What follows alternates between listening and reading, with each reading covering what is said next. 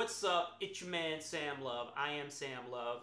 And today I figured it was better that I stand because my instincts and my gut was telling me that to be able to deliver this message to you the right way, I needed to stand to deliver it because I just feel a little bit more comfortable, right? And uh, that's the message for today. Sometimes you got to go with your gut. Today, I gained a new client. And how I did that was trusting my gut when I saw a situation that looked like it might be an invitation for me to help someone and to network with a couple of people and possibly to gain a new client. So I was going into one of my warehouses today to pick up some clothing for an order that I just got on upstartathletic.com. Got one order for my first Tuskegee University shirt. Kudos to me. All right, but I was going in there to pick up an order so I can go ahead and print this shirt up. And I happened to walk past a gentleman and a young lady that was working with the warehouse um, having a conversation about the quality of screen printing compared to, um, I think the gentleman had a, um, he had a heat transfer on a shirt and he had both of them there and he was comparing the quality and he liked the quality of one better than the other and he was trying to figure out what to do and what quality of shirt that he needed to be able to pull off for his brand new brand that he started. And initially when I walked in, I saw them talking, but I didn't go over to them. I went straight to the counter to pick up my order. Now, as I was leaving the counter to go pick up my order, after the young lady at the counter had given me my order sheet, I was supposed to go straight into the warehouse and pick up my order. But I had an option. I was still interested in what the conversation was going on between this young lady and the gentleman about the quality of this t-shirt, all right?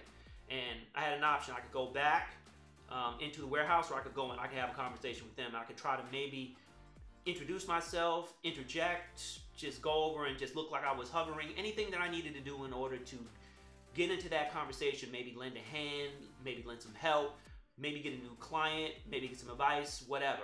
Um, and I chose to go with my gut. I chose to go with my gut. And because I went with my gut, I went and asked one question, and it led into what ended up being a 20 minute conversation about the quality of t shirts, um, you know, the quality of apparel, a whole bunch of things that I had a lot of industry knowledge in that I was able to give to this gentleman, um, and also showed the TSF rep. So, long story short, this gentleman ends up being a new client of mine. And he is sending me a whole workup of a whole bunch of different items that he needs and I'm going to help him out with. And also, I'm going to be able to help him do the printing on all of these items and do some sample work on some of these items too. And all of that I'm going to get paid with. So it just goes to show you that it's super important for you to trust your gut if you get a feeling, if you get an inkling that you need to go and you need to take some action on something, and your gut is telling you to do it, don't discount it. You need to go 100% on whatever your gut is telling you because you never, never know what can lead to you trusting your intuition, your instincts, and your gut.